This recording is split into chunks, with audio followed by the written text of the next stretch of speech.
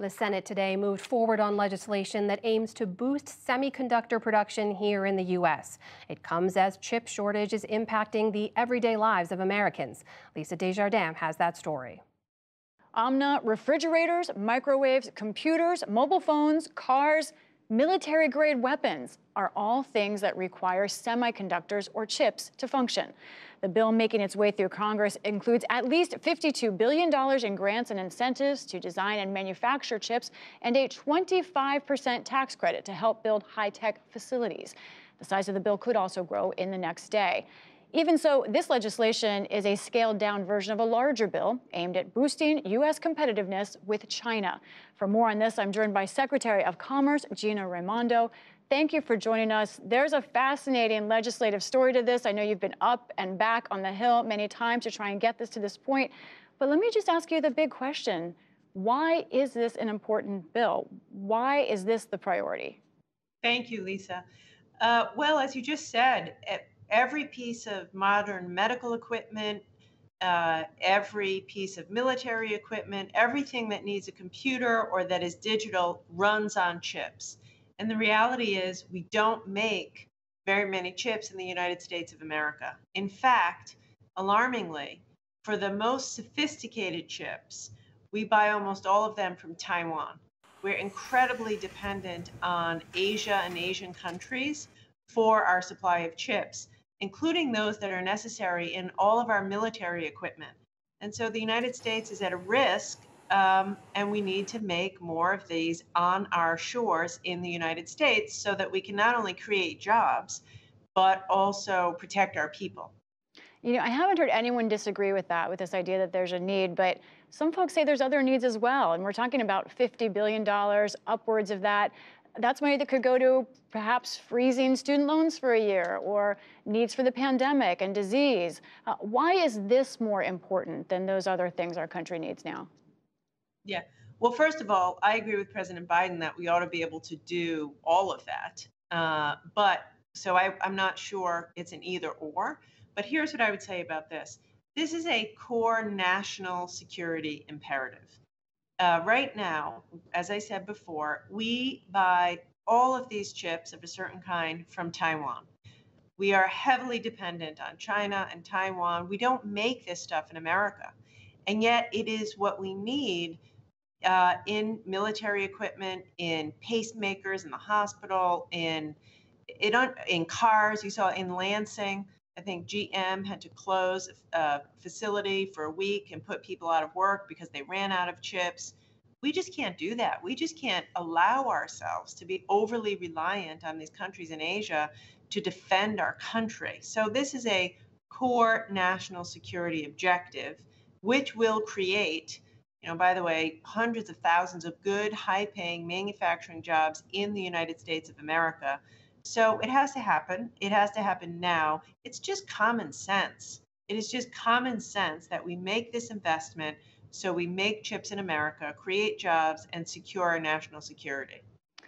I want to give you a chance to respond to also some um, criticism that came from the Wall Street Journal specifically. We know that the U.S. has been um, less of a world supplier of these chips over the past. That's what we're trying to correct here. But the Wall Street Journal says there's some other statistics not mentioned. Is that the U.S. leads in chip design already, more than 50% of the world, 52% of world supply on that, uh, chip making equipment, and that seven of the world's 10 largest semiconductor companies are based in the U.S. So given that, and given that some Democrats have said they see this as a corporate giveaway. Um, you mentioned the urgency. Why is it so urgent at this moment? Um, so it's so urgent at this moment because these companies have a choice. And it is true, many of them are American companies, but American companies operate all over the world. And they have a choice as to where to operate. And if we and every other country recently, Germany, France, Singapore, Japan, are offering incentives to those companies to, to expand in those countries. And so there is no question that these companies will expand and will add jobs and add production. The only question is whether they will do it in the United States of America on American soil, which is what we need for our national security, or whether they will do it in another country. And so this is about having these jobs and this secure supply in our country so that when we need it, we have it. Um, some in the manufacturing community, the semiconductor community, are saying that too much of this bill would help one company, Intel. How do you respond to that? Absolutely not true. Absolutely not true. Uh, it remains to be seen who will receive these incentives. And uh, it's really any company uh, willing to make a big commitment to invest in the United States to produce chips is eligible um, for the incentives. And there'll be an open, transparent, competitive process. Uh, and, you know, everybody ought to apply who's qualified. Uh, you come from having run a state, Rhode Island. Now you're having to deal with Congress. And Congress doesn't really operate well on deadlines. So when you say this is needed now, you mean in the next few weeks, right? Are these companies making decisions now about where to give these jobs? Can you help explain that? Yes, I literally mean in the next couple of weeks. Um, you know, Intel, which is a big semiconductor company, is entertaining offers from Italy and Spain and Germany they have to make the decision this summer because they have to start the expansion now. Uh, other companies, it's the same thing. There's an explosion of demand for chips, and these companies are under a lot of pressure from their customers to hurry up and expand so they can fulfill the orders. Um, I would say tonight, uh, perhaps while we're talking, the Senate is poised to take the first of several votes to take action on this. And I think it's time for Congress to act and get this to the president's desk in the next couple of weeks. You know, I'm a national debt nerd. so one thing I've noticed about this bill is it isn't paid for. This is this would be adding to the deficit. Um, why is it worth adding to our loan, in fact, including loans from China, uh, in order to boost our competitiveness with China? because this is about national security. We can't put a price on our national security. Right now, the United States is denying semiconductors to Russia. And as a result, their satellites and military equipment are literally falling out of the sky because they don't have semiconductors. That could be us. If Taiwan or China decided not to supply the United States chips, that would be us. We wouldn't be able to defend ourselves. So I think $52 billion is, is really a drop in the bucket so that we can, you know, have peace of mind and national security. One final big picture economic question inflation, obviously a concern of every American, big concern on Capitol Hill.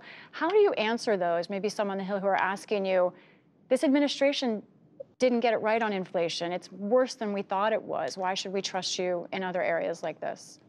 Look, inflation's a global problem. You know, we were chatting before we came on about Europe. Europe's seeing much higher inflation than we are in certain countries. It's double digit. This is a global problem driven largely by the pandemic, by Putin's war. And uh, the Fed has taken strong action. Uh, our administration, the president's administration, is doing everything we know how to do to bring down inflation. So I, I think this is apples and oranges. What we're talking about here is getting behind a bipartisan bill to increase domestic productions of a critical technology to secure our future. Separately, inflation, which, as I say, is a global issue, and we are going to get that under control. Commerce Secretary Gina Raimondo, we know you've been working on this for a long time. Thank you for talking with us about it. Thank you.